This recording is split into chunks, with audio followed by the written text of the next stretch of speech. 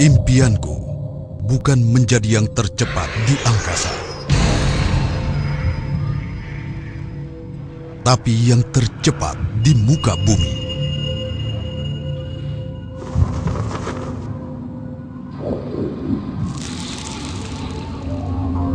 Ini saatnya.